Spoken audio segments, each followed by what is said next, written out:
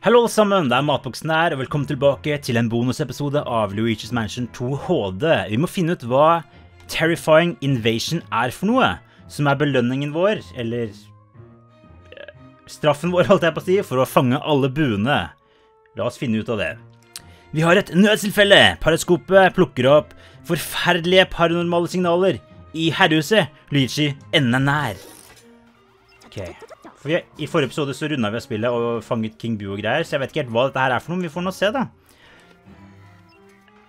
Eller hadde vi, hadde vi dette oppdraget før Nei, jeg tror ikke vi hadde dette oppdraget før etter vi tok Boo. Tror ikke det. Litt usikker. Jeg visste det hele tiden! Jeg skal fortelle deg. King Boo var den som sendte spøkelsene for å ta over alle disse herrehusene. Jeg er sikker på at han ble veldig sint hver gang vi fikk en av Darkmoon-delene. Og nå har han sendt en hel horde av spøkelser for å få tilbake kontrollen over The Treacherous Mansion. Jeg er redd for at vi er i trøbbel, gutten min. Han sender de sterkeste spøkelsene han har. Jeg vet ikke helt hva jeg liker om dette. Jeg vet ikke helt om jeg liker lyden av dette her. Hvis han får tilbake herrehuset, så vil armeen av spøkelser invandere alt av Evershade Valley og alt som ligger ba bak det, altså resten av verdenen. Rishi, du må gi dette alt du har. Jeg som trodde vi var ferdig. Jeg tror ikke vi kunne tatt dette før vi tok bossen, men jeg sjekket ikke, så jeg vet ikke. Men jeg tror ikke det. Jeg tror vi måtte tatt King Boo først. Vi får nå se. Åh, dette blir sikkert veldig stress, men uh, vi får gjøre det. Vi starter her inne. Som jeg løper rundt overalt. Oi. Lucy var liksom, wow, hva skjer? Uh, ok, hvor er spøkelsene nå, Igad? Ja, sjekk kartet mitt. Jeg får ikke gjort det mens du snakker.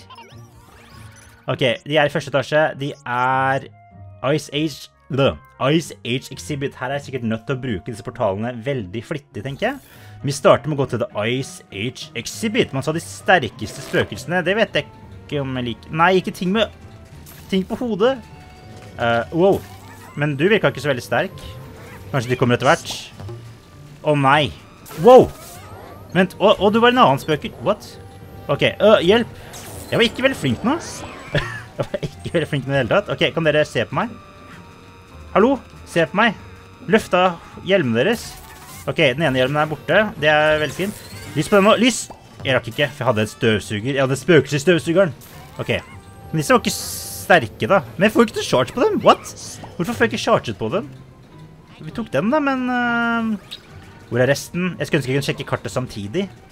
Ja da, jeg går sikkert tilbake igjen her. Jeg går tilbake igjen her, jeg. Ok, la oss sjekke kartet igjen. Hvor er de nå, da? Andre etasje. Andre etasje på høyre side. Greit. Vi heldigvis har disse portalene. De portalene hjelper veldig. Hvis jeg måtte løpt rundt omkring over hele her, så hadde det tatt sin tid, for det er et ganske stort mansion. Uh, så langt har ikke spøkelsene vært veldig vanskelig, så jeg skjønner ikke helt hva jeg snakket om. Uh, jeg er ikke så veldig fan av de mumiene. Av en eller annen grunn så har jeg slitt veldig med å få til charge. Hvorfor vet jeg ikke. Ok, kom, her, kom hit. Kan ikke dere krasje inn hverandre eller noe? Ok, den datt i hvert fall. Åh, hjelp, hjelp, hjelp, hjelp. Åh, wow, wow, wow. Nei, nei, nei, ikke gjør det der. Jeg skal få... Jeg skal ta den der før noe som helst skjer. Åh, Mumi. Mumi, Mumi, Mumi, Mumi. Eh, sorry for at jeg ikke sier så masse spenn... What? Hvorfor? Kan du fortelle meg hvorfor du fortsatt er en... Jeg gjorde det der, jeg skjønner ingenting. Hvorfor har du fortsatt... Uh... What? Jeg skjønner ingenting. Hvorfor var det en fortsatt mumie? Jeg var sikker på at jeg fikk tatt av den eh, forkleet sitt, holdt jeg på å si. Men tydeligvis ikke. Men ikke så veldig vanskelige spøkelser hittil. Men jeg er liksom redd for hva jeg skal forvente. Nå forventer jeg veldig farlig. Men så langt har det ikke vært så veldig ille. Jeg ser det blir litt verre nå, men Å nei. De der er så irriterende. OK, jeg ble kvitt de ganske lett. Så må bare bli kvitt solbrillene dine. For de gjør at jeg ikke kan ta deg. Ja, for disse er i hvert fall litt sterkere, da, de som har sånn cracks på seg. Var det alle som var der? Jeg føler at det er flere. Er det var. Ok, Igat. Å, nå er det rom sine. Kult, kult. Jeg er ikke så stresset hittil. Jeg tror ikke jeg har timer på meg. Eller jeg har timer sånn, sånn sett at det er en speedrun. Men jeg har ikke tid på meg i den forstand at jeg dør hvis det er en tid som går ut. Det var det i den oppdraget. Da måtte jeg forte meg å ta alle spøkelsene før rommene ble altfor røde. For da hadde ting ikke gått bra, holdt jeg på å si. Uh, men her er det bare om å gjøre det fortest mulig for å få en bra score. Og det er liksom ikke, ikke så stress, liksom. Og det har ikke vært så veldig vanskelig hittil heller, som Iged skulle ha det til. Det har vært ganske så lett. Ganske lette spøkelser. OK. Men det er sikkert flere fortsatt. Uh, det er noen på andre siden. Og så noen i første etasje. OK, vi kan starte med å gå til andre siden. Jeg liker å gjøre meg ferdig med én etasje først, så jeg har litt mer kontroll. De skal tydeligvis være i gangen her ute. Ba, ba, ba, ba. Da, da, da, da. OK, hva forventer meg her? Å, jeg ser dere. Jeg ser dere. I see you. Jeg fikk bare den ene, da. Men jeg kan se dem her, da. Så det er egentlig lettere. Det er faktisk lettere her, for jeg kan se det mm, Siden, eh, av en grunn, siden bakken er så speilblank, så kan jeg se hvor spøkelsen er, og det gjør det ganske mye lettere, faktisk. OK, hvor er du? Å, oh, der var du.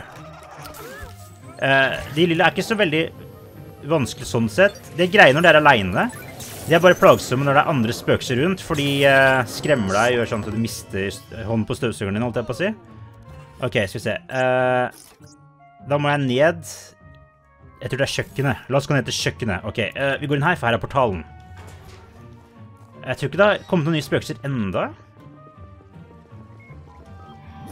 Jeg er fortsatt litt sånn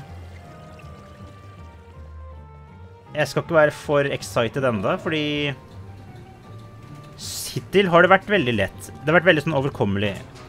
Så jeg bare gruer meg til det kommer plutselig masse forferdelige spøkelser. Men nå føles det jo veldig overkommelig, så jeg bare sånn er, er det så ille som Igget skal ha det til? Er det jeg lurer på. Det virker jo ikke sånn. Og jeg, jeg, har lært meg litt mer hvordan jeg skal deale med disse. Litt, ikke veldig mye. Oi! Hallo, kan ikke bitchlappe meg på den måten der. Men jeg, jeg, har, lært, jeg har, lært, litt hvordan jeg kan ta det. Jeg må gå litt sånn sidelengs på dem. Uh, for da får du ikke truffet meg med den greia si. Nå er det veldig masse vegg ved siden av meg. Uh, men som dere ser, så har jeg blitt mye flinkere på det. Jeg mistet ikke så mye liv i det hele tatt på de der. OK. Det var kjempelett! Var det alt? Igad, nå var jeg skikkelig bekymra for at det kommer til å være spøkelser i alle rom, og masse spøkelser, og masse farlige spøkelser. Possessor-spøkelser og greier. Eller sånne med hjerner og greier. Men det var jo veldig lett. What? Jeg forventa at dette var som bonus på at alt skulle være veldig vanskelig, men dette var jo veldig lett. Fantastisk, Luigi. Simpelthen fantastisk. Du er den beste spøkelsesjegeren som jeg noen gang har sett. De vet aldri hva som treffer dem når du kommer. Hold deg rolig, jeg skal hente deg med fikslatoren. Ja vel. Men jeg er fortsatt usikker på om jeg kunne gjort den her før King Bu eller ikke. For jeg, Før så har jeg fått sånn der eh, etter bossen at ekstra mission har kommet, men jeg føler ikke at det skjedde nå. Så jeg vil tro at jeg måtte ta King Bu først. Fikk tre stjerner og greier. Ok, men hva skjer nå? Jeg har fortsatt ikke fått noen mansion. Kanskje man får man ikke Ja, men ja, det må være en grunn til at jeg samler Det må være en grunn til at jeg samler alle pengene. Og alle buene jeg får oppdraget, da. Men det må jo være en grunn til at jeg samler alle pengene og sånn. Jeg må få noe! Jeg, jeg, er nesten sikker på at man får mansions i toer nå. Jeg tror man får mansions i alle spill. Jeg får mansions til eneren, ut ifra mange gull, gull, penger og gems jeg har fått. Jeg mener at jeg fikk det også når jeg spilte 3DS-versjonen. Da samlet jeg ikke alle buene og gemsene, så kanskje jeg bare fikk det da etter bossen. Nå fikk jeg ingenting, så jeg vet ikke. Får jeg det nå? Du klarte det, Luigi! Jeg trodde ikke Poltergus 5000 kunne holde så mange spøkelser. Ok, la oss putte dem ned i hvelvet med en gang. For dette føles som noe man kunne gjort før. Man har tatt King Boo, for nå er spøkelsene fortsatt slemme, så jeg, det gir ikke så mye mening. Jeg er forvirret. Jeg er forvirret. Jeg skjønner ingenting. Hvor er mitt mansion? Criminy! Jeg kan fortsatt ikke tro at du klarte det. Det var ikke veldig vanskelig, det var veldig lett, faktisk. De spøkelsene hadde kommet til å ødelagt herrehuset og hele dalen. Du reddet alle, og folk der ute vet ikke engang. Hvis jeg hadde hatt meg en hatt, så hadde jeg tatt den av for deg. Ok, kan jeg få en mansion nå, eller? Men jeg er ikke så mye av en hattefyr. Tar for mye tid å ordne håret mitt. Uansett, King Boo er nok furious right now. Ja, men han er fanget. Det er greit. La oss besøke ham. Be la oss besøke ham?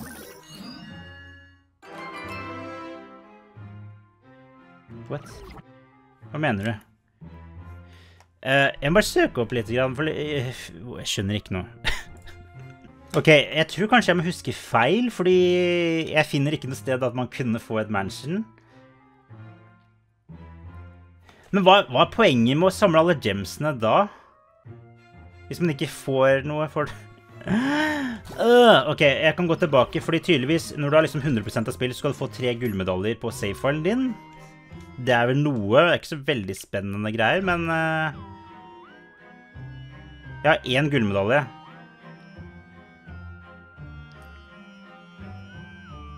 Og jeg, og, OK, jeg har én gullmedalje, men